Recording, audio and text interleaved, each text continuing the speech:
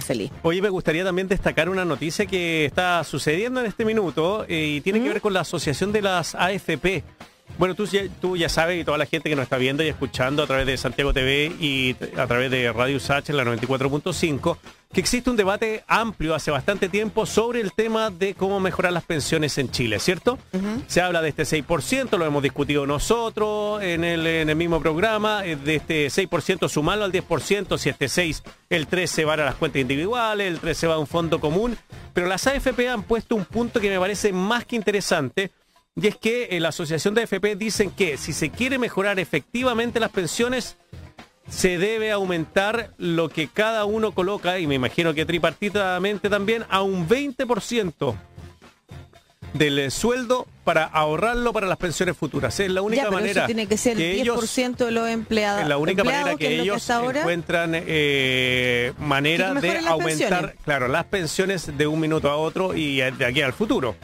Ya, pero que eso esté a cargo de los empleadores. Para que sea un 20%, tiene que ser 10% de los empleados, que es lo que ponemos nosotros, Sí, y pues. 10% de los empleadores. En ¿Cómo el en mundo, mundo? eh, eh, claro, pero también el Estado aporta generalmente la mitad de lo que aportan tercer- los la tercera pata, empleadores, el pilar. claro. Sería Eh, bueno, no pero ahí son sé, formas de, hay- de discutir, pero eh, lo que a lo que voy es que ellos también plantean que es necesario aumentar la cotización eh, personal para mejorar las pensiones de aquí a un futuro cercano. Ya, es imposible que, el, que le pretendan quitar un 20% a los, a los trabajadores No, no, de la que no, pensión. es imposible. O sea, O es sea, imposible. Con los niveles de sueldo que tenemos, o sea, no se puede. Pero es necesario, efectivamente se ahorra poco, pero se ahorra poco por dos razones, lo hemos dicho muchas veces. Porque nuestros sueldos son muy bajos en Chile, promedio, mediana, Claro. son muy bajos.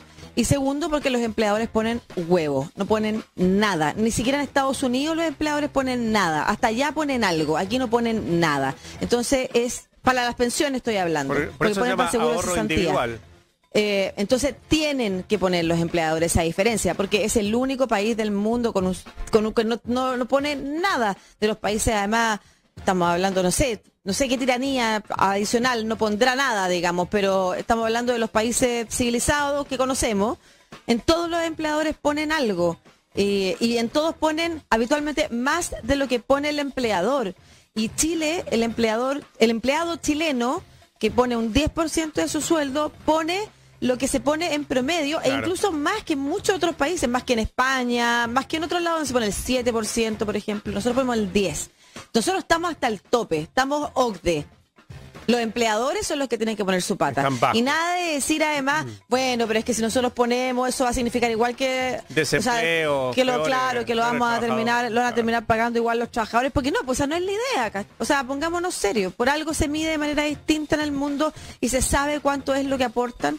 Eh, y considerando además los costos fijos tan altos que tenemos en Chile, no me van a pedir que sean los las personas las que pongan más, porque las personas hacen un esfuerzo suficiente, incluso excesivo se, se compara también con otros países desarrollados. Así que estoy de acuerdo en que hay que el 20%, pero, pero ya sabemos a quién pedírselo. Sí, porque no puede salir del bolsillo de los trabajadores más plata, como decías tú, por lo paupérrimo que son los sueldos de nuestro país.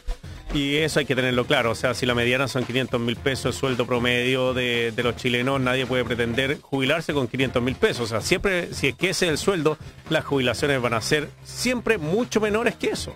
Claro. La tasa de reemplazo no es eh, 500 mil, va a ser 300 mil con suerte. Mm. Entonces, claro, si tenemos 500 mil pesos y queremos aumentar la- las pensiones, hay que aumentar también la cotización por parte del empleador y también por parte del Estado, me imagino yo, a través de algún tipo de, mm, qué sé yo, no sé, desde lo mismo de la misma plata del cobre que Y tenemos recaudar cada más año. impuestos. O recaudar tal vez más Sin impuestos y también sí, aportarlo. po. no, claro. Porque la idea es que los impuestos sean progresivos, no, no regresivos y quienes tienen más paguen más. Eh,